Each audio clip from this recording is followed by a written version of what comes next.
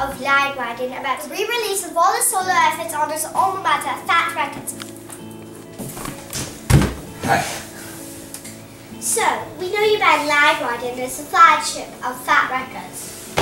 And you've been there for nearly 24 years. Mm, yes. That was good. But then you started all those side projects and acoustic nonsense. Seriously? Yeah, I mean, I, you know, I love music. Well, and I- anyways, you went on this little boy journey trying to do all your solo stuff, and you just, well, I'm going to be a big star, but no. no, that's not it at all. I Yeah. just, no, it's not. Yeah. Well, I mean, And I like. You did the Scorpios record with Brian Wahlstrom, Jon Snodgrass, and the late great Tony Sly. It must have been amazing for you playing with brilliant men. Yeah. And you, you're just down there. Well, there you have it. An old man and his insatiable ego.